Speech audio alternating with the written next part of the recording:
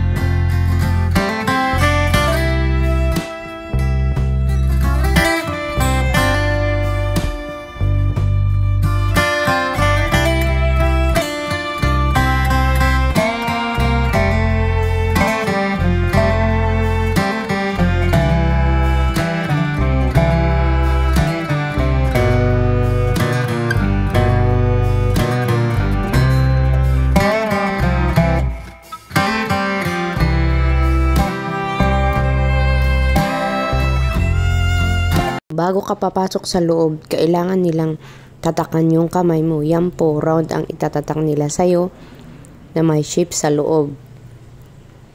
Bawal ka ding magtapon ng mga balat ng kini dito, ng mga basura at yung may tusok gaya ng pangtusok ng barbecue kasi lalabas yung mga ship dyan, dyan sila dadaan at kakainin nila yung mga basura kaya bawal talaga.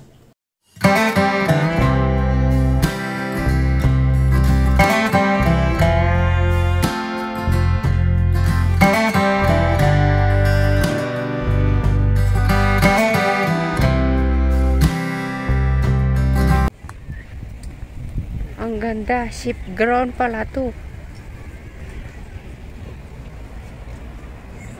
Parang sa Stone Kingdom o sa ano, Pilipinas.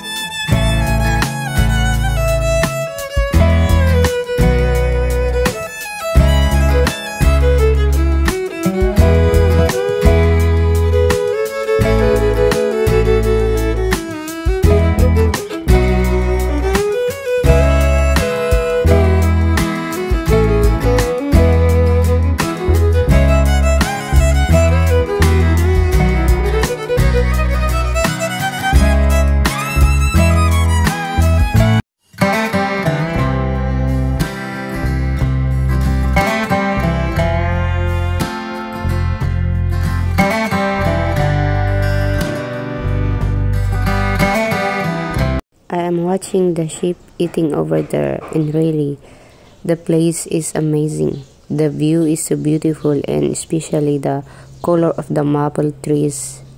It's so lovely.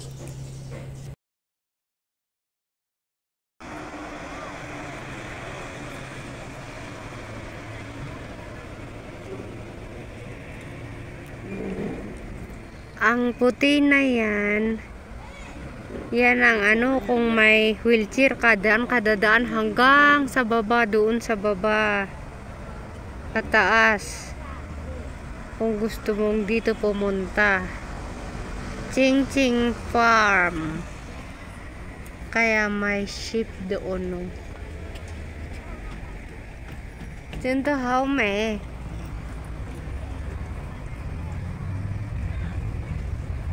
Ayan yung mga clouds marami din tao.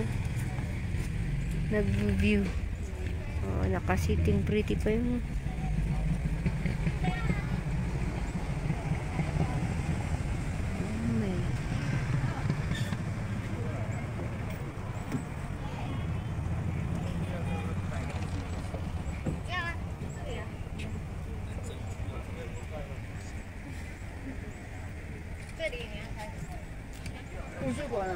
Ching Ching Farm is far away from the scorching heat of the city.